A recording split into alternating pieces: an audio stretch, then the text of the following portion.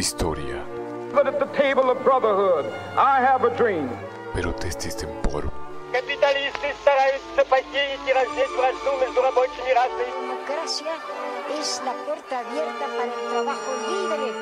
Lux Veritatis. We shall fight in the fields and in the streets. We shall fight in the hills. We shall never surrender. Für dich eingesetzt habe, dass ich anständig meine Zeit verwendet habe. Vitam Memoriae. Que hablen bien, qué bueno. Y si hablan mal, qué bueno. La cuestión es que hablen de ti, que sea mal. President Kennedy died at 1 p.m. Central Standard Time. Mr. Gorbachev, tear down this wall. Magistra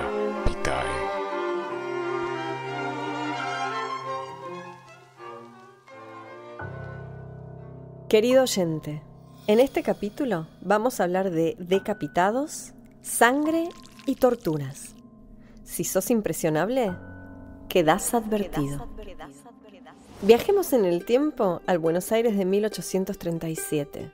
El gobernador Juan Manuel de Rosas tiene el poder de las facultades extraordinarias y enfrenta oposición a su figura omnipotente de otros hombres cuyos caracteres se le parecen y que en sus provincias gobiernan con similar firmeza y autoridad.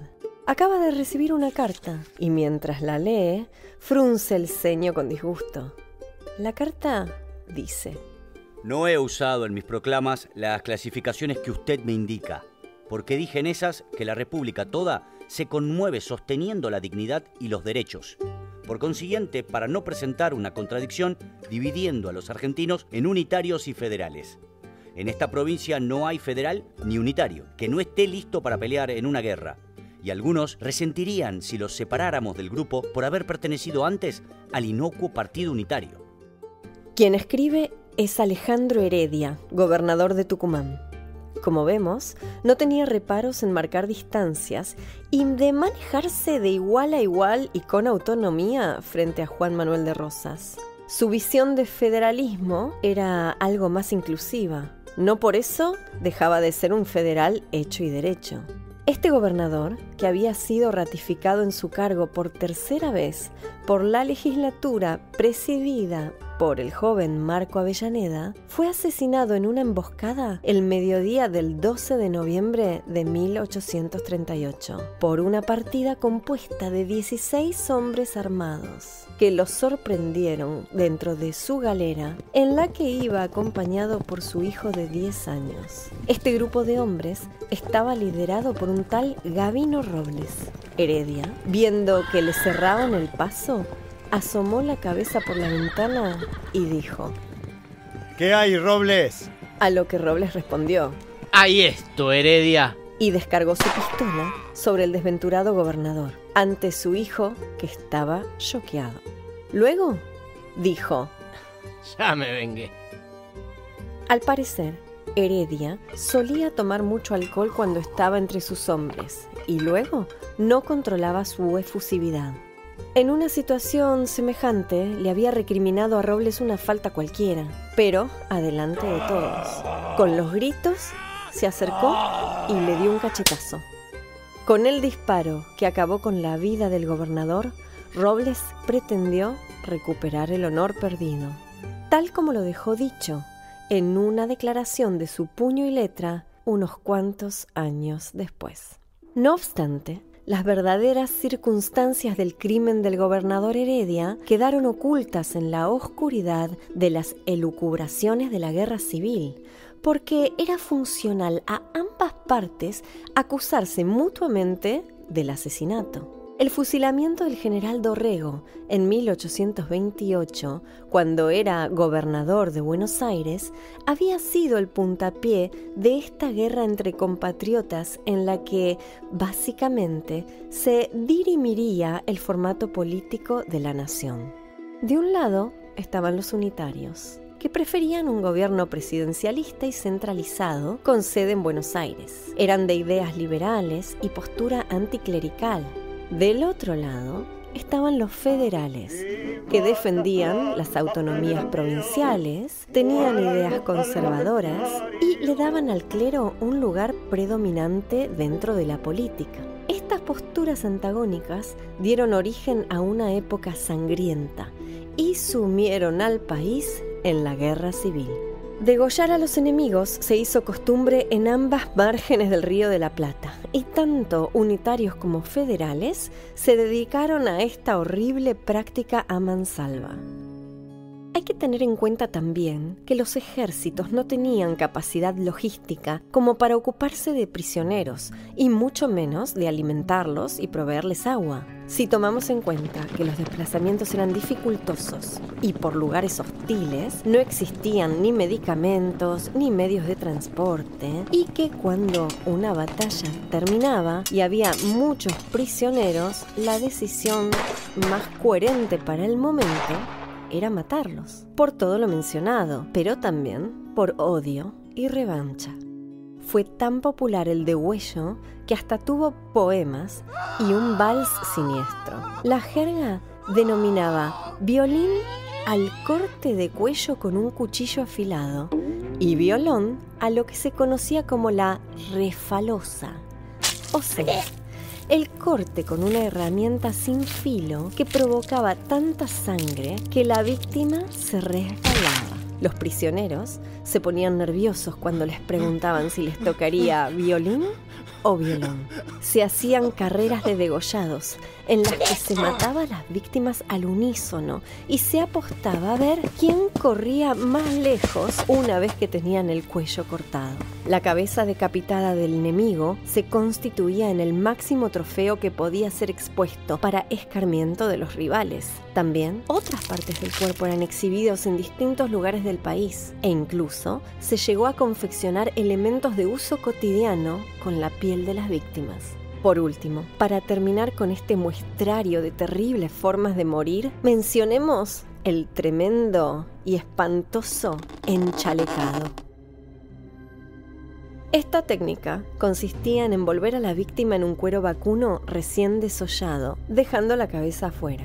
El cuero era cocido y la persona quedaba atrapada dentro de este paquete. Luego se ponía al condenado al lado del fuego o bajo el sol implacable. En la medida que el cuero se secaba, comenzaba a encogerse alrededor del cuerpo de manera tal que la persona moría asfixiada o porque se le quebraban los huesos. Todos estos actos macabros, crudos y violentos eran aprobados por los altos mandos de ambas posiciones políticas. Las facciones, sean tanto unitarias como federales, no tuvieron reparo en aplicar cualquiera de estos tormentos. Pero volvamos al protagonista de nuestro capítulo, Marco Avellaneda, el joven político tucumano, liberal, cuya tesis de grado había sido sobre la necesidad de abolir la pena de muerte. En ese trabajo decía, La pena de muerte es irreparable por naturaleza.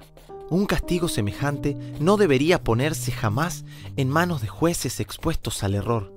Yo no convendré en la aplicación de esta pena mientras no se me pruebe que los juicios humanos son infalibles. Tengo el convencimiento de que no está distante el día en que la generación a la que yo mismo pertenezco proclame que la nación argentina reconoce la inviolabilidad de la vida humana. Seguramente cuando escribía esto, no imaginaba que sus ideales políticos lo llevarían a terminar sin cabeza en las afueras de Metán, en Salta. ¿Cómo sucedieron estos hechos tan desafortunados? Ni lerdo ni perezoso, Juan Manuel de Rosas enseguida vinculó el asesinato de Heredia con sus enemigos, incluso cuando estos no eran enemigos de Heredia, como él mismo había expresado en la carta que leímos al comenzar esta historia. Al recién nombrado gobernador de Tucumán, Juan Manuel le escribía. Fue víctima ilustre de su miserable política y de su marcha equivocada. Los resultados ya se están tocando y quiere usted que no lo envuelvan y engañen también del mismo modo los unitarios, perdiéndolo usted para siempre. Sé por documentos que este es su plan acordado, y como soy su fiel amigo, es mi deber manifestárselo con toda claridad. Y si usted duda de esta verdad, le enseñaré hasta el fondo mismo esa red inmunda y el veneno activo de esa fuente emponzoñada.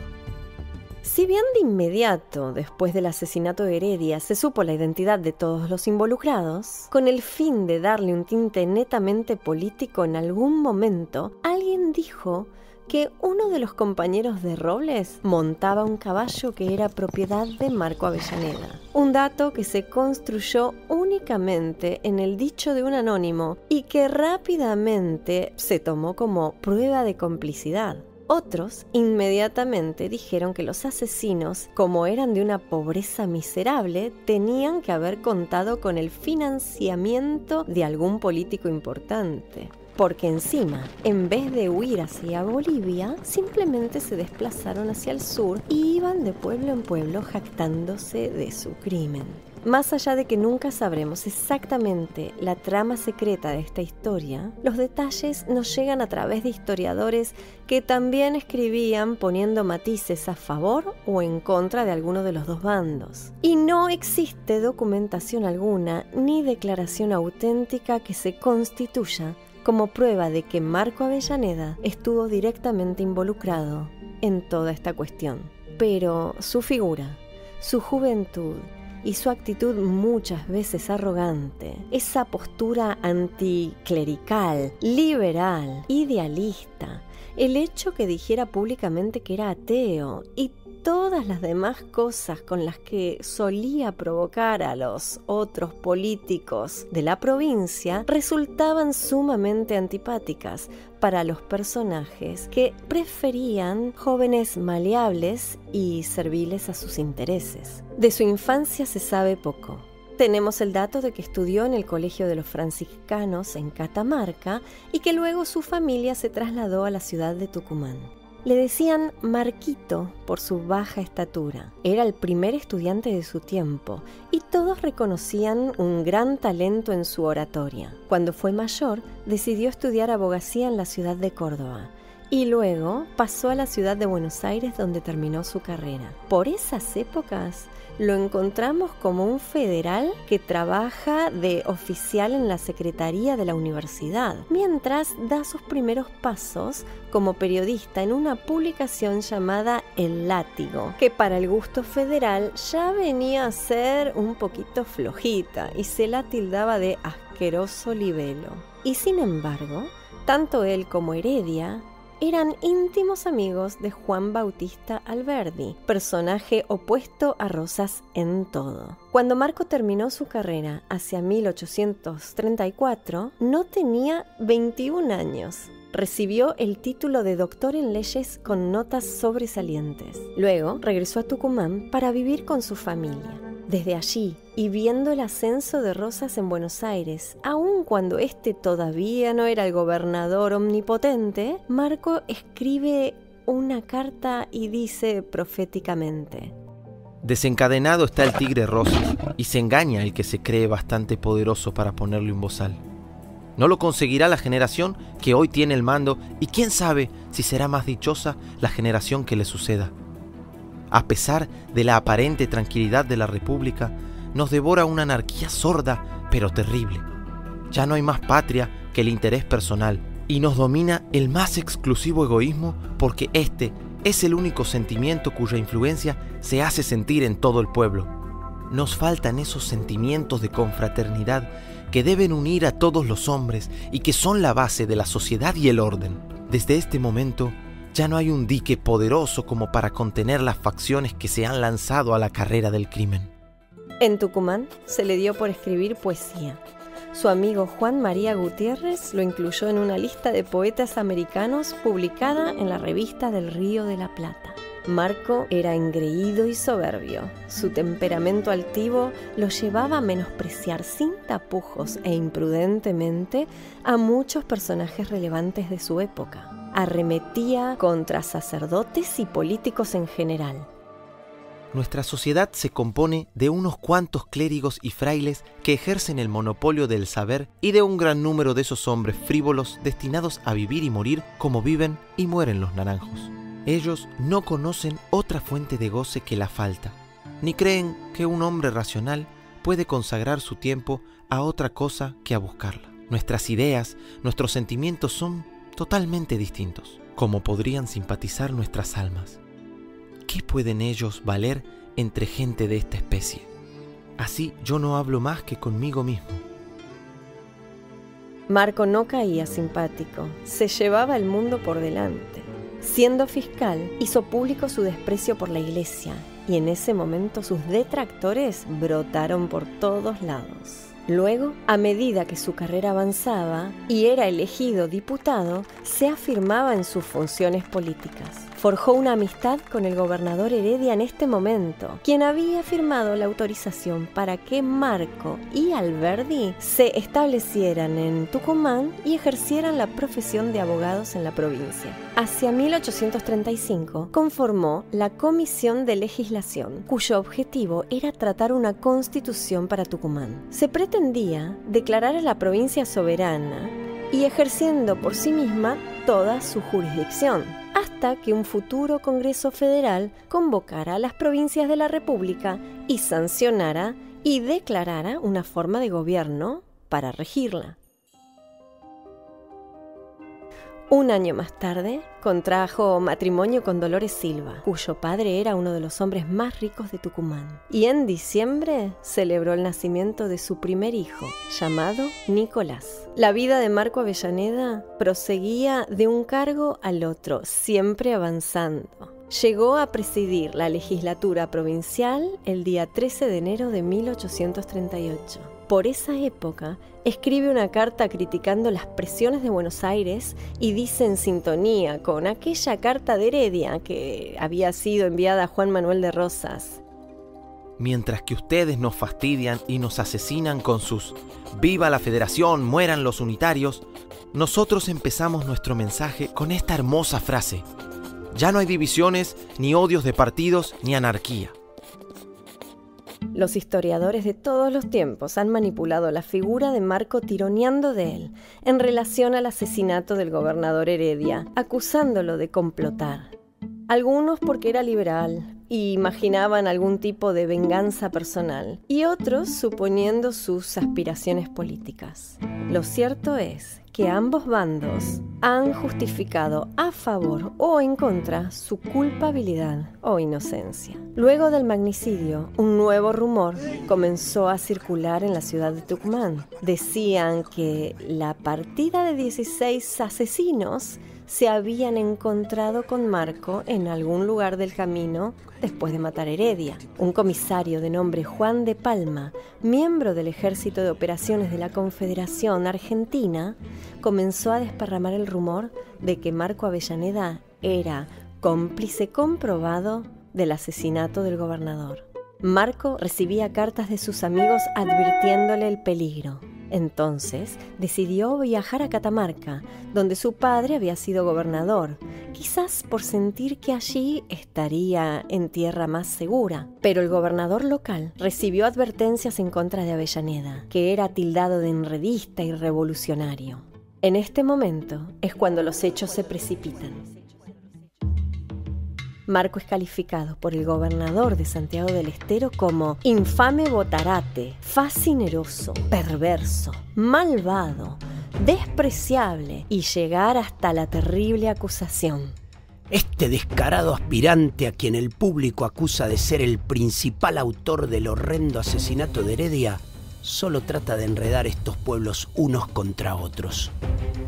Marco se defiende exclamando que no ha tenido nada que ver con el crimen de Heredia y que los culpables están presos y ya han confesado. Denuncia el intento de Rosas de aplacar la autonomía tucumana. El clima se pone cada vez más pesado. En la histórica sesión de la legislatura el 7 de abril de 1840, presidida por el doctor Avellaneda, se trata y se aprueba el proyecto de ley que estaba en la orden del día y que, entre otras cosas, dice. Juan Manuel de Rosas se ha creído autorizado para ingerirse en la administración interna de las provincias de la República. Desconoce y pretende disputar a los pueblos el derecho sagrado de darse leyes y de mandarse conforme a ellas y de ser los depositarios de su autoridad no reconocemos su carácter de gobernador de Buenos Aires y le retiramos por parte de la provincia de Tucumán la autorización para representar sus relaciones ante las potencias extranjeras. y no le entregaremos al comisionado el gobierno de Buenos Aires las armas que le exige a la provincia de Tucumán para hacer la guerra con Bolivia. Podemos imaginar que después de la lectura de semejante documento hubo un largo silencio en la sala, que las respiraciones estaban contenidas y las manos sudorosas. Los legisladores de Tucumán estaban apostando y apostando fuerte. Poco después de este pronunciamiento, Salta, Jujuy, Catamarca y finalmente La Rioja se expresaron en el mismo sentido. Nacía la Liga del Norte en contra de Juan Manuel de Rosas, que desde Palermo ponía manos a la obra para la guerra. Las desinteligencias, los egoísmos y el espíritu localista de cada uno de los integrantes de la Liga del Norte perturbó la fortaleza de la coalición. Y en el medio del huracán quedaba la figura de Marco Avellaneda, a quien todos veían como el alma del movimiento gestor y dueño de la dirección política y administrativa que lo hizo posible. Marco era popular, demasiado popular, y estaba cada vez más solo. Cuando los problemas se habían convertido en una tormenta implacable, dio un mensaje en la legislatura diciendo, Muchas alianzas se han celebrado desde la época de nuestra emancipación, pero no se han tendido todas ellas más que consolidar el poder de los gobernantes a costa de la libertad de los pueblos. Ellos han sido siempre el gran obstáculo para que los pueblos dueños de sí mismos puedan trazar la línea en la que el poder deja de ser legítimo para convertirse en despótico. La naturaleza del pacto que hoy se somete a nuestro examen reconoce el principio de que cada pueblo puede nombrar a los depositarios de su autoridad y hace de este derecho una realidad apoyándolo en la opinión pública, así como también en las bayonetas de la coalición. Mientras tanto, el general unitario Juan Galo de la Valle había fracasado en su intento de apoderarse del gobierno de Buenos Aires. Había sido derrotado en Quebracho Errado y marchaba hacia el norte en retirada, perseguido tenazmente por el general Oribe. La Liga del Norte, en su posición antirrocista, se declaró a favor del general Lavalle y Marco Avellaneda se dirigió junto a un pequeño ejército que había podido reunir al encuentro de las tropas unitarias para darles asistencia. Esta situación termina en la batalla de Fama y Ya, que fue para la Liga un gran desastre. Sus divisiones se disolvieron como humo. Todo comenzó a las 6 de la mañana y el choque duró muy poco tiempo. La mortandad fue horrorosa para las tropas unitarias, mientras que el ejército federal perdió solo 20 hombres. Toda la caballería fue prisionera. Las ejecuciones de los oficiales se hicieron de inmediato al pie de sus caballos. Matar a los cabecillas era una costumbre muy frecuente en esta época. Luego de una victoria venía el inevitable degüello. Sobre esta batalla hay una idea generalizada de que Lavalle había sido engañado con información falsa. Le habían dicho que el ejército de Oribe no superaba los mil hombres y que al darse cuenta de la verdadera situación tuvo la intención de hacerse matar, poniéndose al alcance de las balas, de manera tal que sus ayudantes a su lado iban cayendo muertos, mientras él se mantenía impávido y sin moverse como esperando la suya. Un parte escrito por el capitán García, que estuvo en Famaillá, dice: 21 de octubre, Rincón de Ugarte. El general Oribe mandó hacer una gran degollación. Fueron pasados a cuchillos todos los soldados prisioneros cordobeses y correntinos que se encontraban. Pasaban de 350 hombres. Enseguida Oribe entró a la capital de Tucumán donde fue bien recibido. de miedo.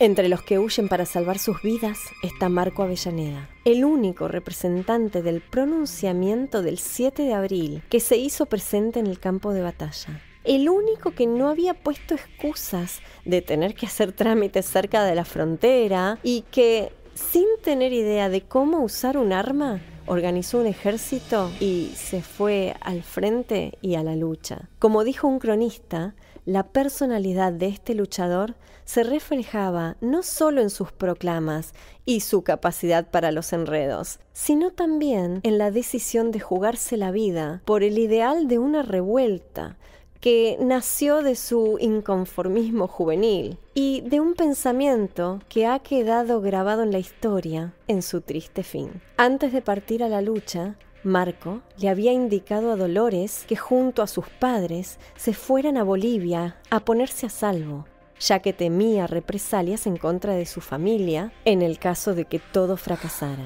Esta travesía fue muy lenta y muy penosa, ya que los cuatro hijos de Marco y Dolores eran muy chicos e Isabel de dos años había enfermado. Sin poder detenerse para darle a la niña el tratamiento necesario, murió en brazos de su madre. Dolores ignoraba que prácticamente en el mismo momento también perdía a su marido. Pero volvamos a Marco lo vemos huyendo hacia el norte con la idea de reunirse con su familia y tuvo la mala suerte de cruzarse en el camino con Gregorio Sandoval. Este era el jefe de la Guardia Personal de la Valle, quien lo había enviado junto a 150 hombres a buscar a Marco y seguir junto a él marchando hacia Salta para reunirse todos allí. Sandoval había decidido jugar a dos puntas se había pasado al ejército de Oribe y vendido su dignidad, pero aún mantenía sigilo y obedeció a la valle. Para desgracia de Marco, lo encontró acampando en la estancia La Alemania y se quedó junto a él.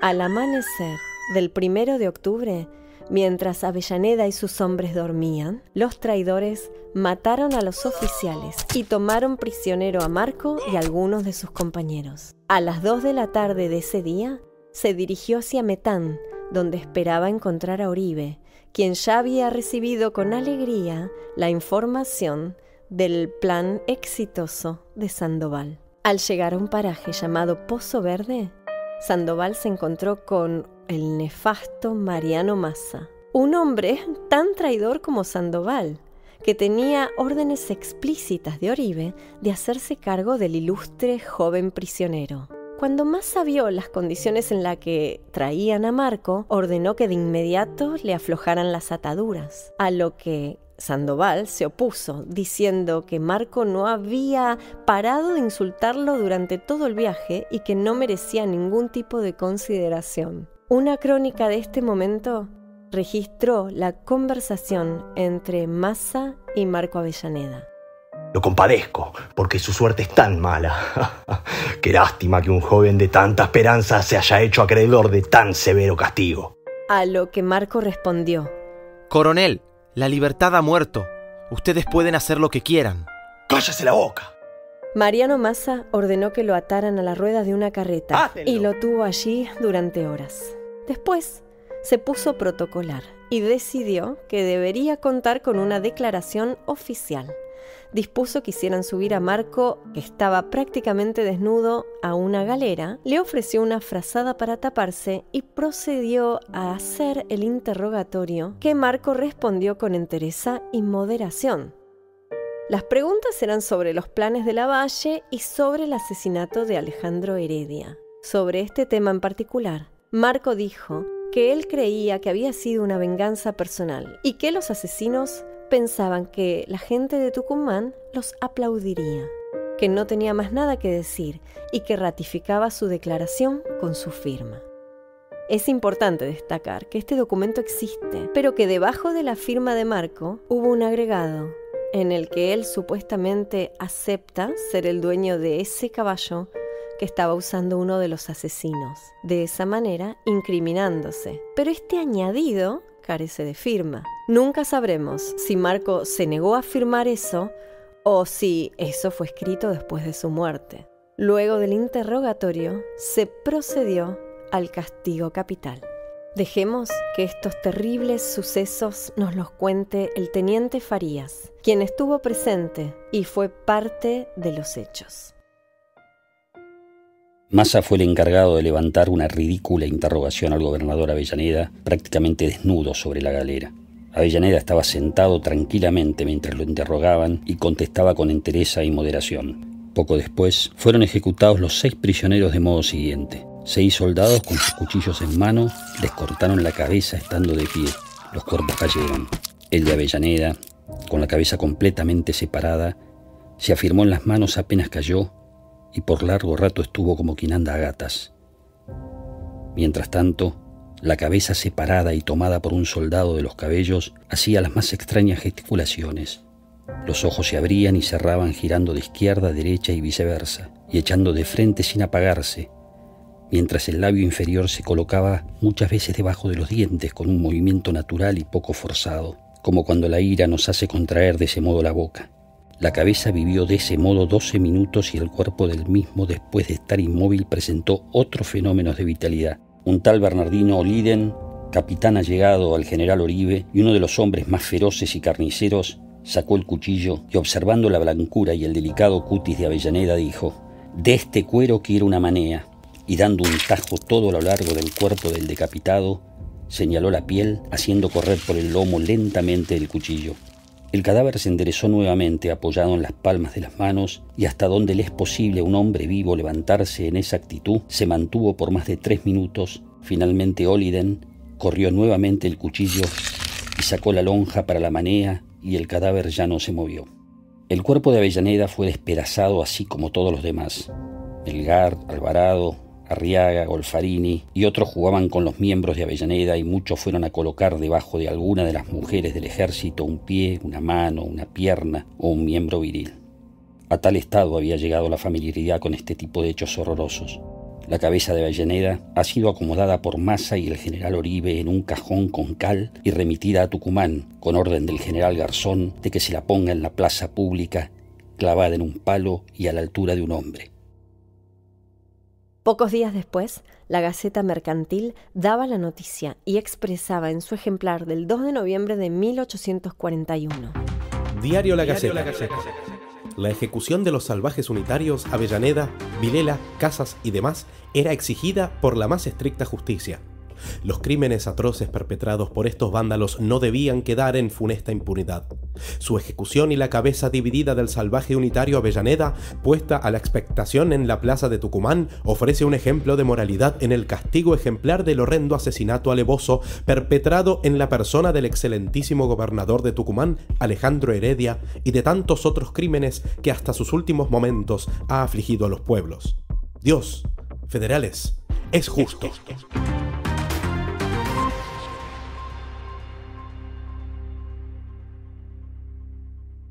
La prueba esgrimida de la culpabilidad de Marco Avellaneda en el crimen de Heredia fue para la posteridad que supuestamente había prestado un caballo a uno de los asesinos. Varios historiadores han escrito, sin que exista documentación alguna, que Marco Avellaneda fue sometido a un juicio marcial en ese lugar por un tribunal conformado por Mariano Massa y otros personajes mazorqueros. La cabeza de Avellaneda fue llevada a la ciudad de Tucumán para escarmiento de quienes se atrevieran de aquí en adelante a levantar la suya demasiado alto. Fue clavada en una lanza o pica y estuvo un largo tiempo expuesta a la lluvia y al viento.